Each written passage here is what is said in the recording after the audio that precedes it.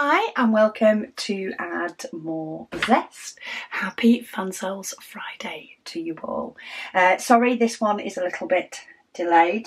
Uh, it is my bad. it has been one of those months. But anyway, I have a few off the canvas bits or sort of off the canvas slash accessory bits to share with you today from Fansells. Um, I think in this lot, one of them is actually something that was requested um, by a member of the Facebook group. Um, they mentioned that they liked the look of them. So let's dive right in. First one, um, a fairly, a really cheap one actually on the site, but I thought it would be handy potentially, um, needs a bit of a wipe down, uh, potentially for in the Add More Zest shop. But let me get the top on. It is. It was less than a couple of pounds. This. Does it go on that way? I feel like it should go on that way so that it hits there. But maybe it needs to be on it to unskew itself. it's a little bit skewy, but I say, it's less, it was less than two pounds if I remember rightly. So for the price, it, it, it, will sort itself out. There you go. It's gripped on. Um, it's just a little desktop bin. Um, I do have this one. Um, which I diamond painted that I use quite a lot when I'm kitting up uh, but it's always handy to have another bin. This might actually end up on the dining table or on the windowsill in the conservatory. Um, I'm not quite sure yet. It might start there, but there's forever little bits of, you know, crisp wrappers and things like that, bits of paper that end up floating about. Um, and while we're really close to the kitchen, they tend to just sit there until they get moved to the kitchen. Um, or I might use it, as I say, in Add More Zest um, for in there. But I thought for the price, it is it is not hard to have another little sort of desktop bin. Maybe I'll use it for my quilting to put my little scraps in when I'm quilting, which is another thing I do on the dining table. So anyway, that is item number one. We'll get rid of the wrapper because that will be staying out. Uh, then we have a small but cute item for number two. Um, these are some little hooks, diamond painted hooks. Uh, and I thought these were really sweet because these types of hooks, this type, I actually use quite a lot um, with in my craft room. Uh, I have some with a, a bit of a bigger lap of plastic around the outside um, but it's the same sort of concept and that's actually what I hang my diamond paintings and things on. Um, but these were really cute because these are little sewing machines. So what you do is you pop your diamonds you peel this off and you pop your diamonds on the front and then this hook actually goes through here um, so what you do is you use the sticky part to stick this onto here and then stick it on the wall. Or you can stick your hook part further down or to the side. Further down probably in the middle would be better. Uh, and then you have this gorgeous design and a little hook.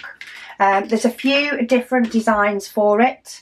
They do all have a hole in the middle so if you do want to make it part of the hook, you can, or you can pop it underneath um, so that it hangs down underneath. But I thought these designs were pretty stinking cute. This one would have to go underneath. I think I prefer underneath anyway, to be honest, um, but it is a matter of personal preference. So for these, you get six. Uh, and this, this little range is all sewing machines. Go with my little quilting. Maybe hang some of my rulers on there. Say rulers, I have one at the moment. it's not like I have lots of them. Uh, I have one. But anyway, Uh, diamonds wise, so let's have a look at the sort of colours and things that we get in this one. So we get, it's all rhinestones slash special diamonds. So we have the clear or silver. We have some sort of, it's like a dark green. It's like a mossy green colour. Uh, turquoise, love that one. Blue, green, red, pink, two types of pink. Uh, then we've got like a bronze colour, orange, and then we have these gorgeous petal shapes in green, uh, beautiful little pearls, pearls in blue, petal shapes in blue, and petal shapes in pink. Uh, the numbers um, are on the front slash letters. So depending on which one it is. So if you can see some of the petal shapes are a letter uh, and a lot of the rhinestones are a number. And they're all detailed on the packs. Excuse me. So let's get these popped back in here. I don't have to pop them back in the way they came out, but I do find I can often get things back in the box a little bit easier if they do. So that is number two. And then this is the one, yes, this is the one that was shown to me um, as somebody would love to see. So this is acrylic um, and this is a gorgeous acrylic clock. Uh, so we can see time heals all, but love never fades. Ah, that's cute. Um, so that's written on the little plaque. You just put some rhinestones around the outside where these like little dots are. Uh, and then we've got flowers and butterflies. You also put some round rhinestones around the clock face, um, but not on the actual clock face itself. Uh, you do also get a stand. So once you are done and your sheets of protective plastic are off, this will fit into here really snugly so that it will stand up. You also get the clock mechanism. You don't get the battery, uh, but it does take a double A battery. Sending batteries in the post is not entertaining, so um, I don't blame them. Uh, for not including those. So you do get your little clock parts. They're all in with your toolkit. So you've got all your little parts to assemble your clock once you're done and you can have a fully working clock. The box is a bit bashed but the actual item itself is perfectly fine. Uh, but that was due to the amount of goodies that I had in the parcel along with, which was a fair amount. Um, so the ones for these, we have some black rhinestones. So they are silver backed, but they are purely black on the front. Then we have, oh, they're gorgeous little pearls. There's no facets on these, which is why I call them pearly, uh, with like an AB coating in yellow.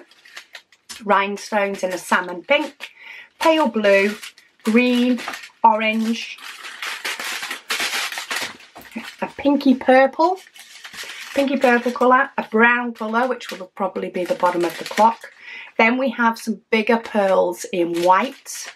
Oh, gorgeous, like, they're not, they're circular, but they look a little bit sort of seashelly. They're textured on the top.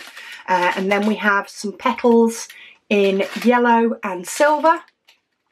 And then we have what I what always reminds me of those little buttons on babies' cardigans in silver. So quite a few different diamonds in that one.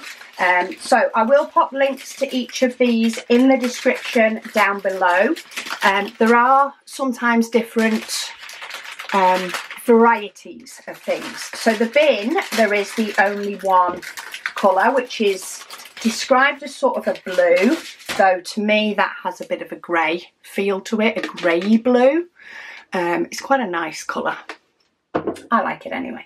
Um, yeah, so that does only come in one colour. But for example, the hooks, there are a few different designs. Also with the clocks, there are a few different designs. So if you like the concept, but maybe you're not as keen on the specific one that I've picked up, um, then do go check out their website. Say, click on the link um, and then using the title uh, of the item, you can pick out keywords to pop into the search to find the other sort of varieties of the same sort of thing. Or, of course, you can go on a very long browse, like I often do uh, when it comes to picking goodies for Fansells Friday. Uh, but yeah, let me know in the comments down below which is your favourite from today's picking. Um, and do stay tuned, I am doing um, the next Fansells Friday next Friday, uh, and I have some awesome storage for that. Um, very happy with that one, but we've got some storage and then a couple of diamond paintings. But anyway, thank you all so much for watching, and I'll speak to you all again soon.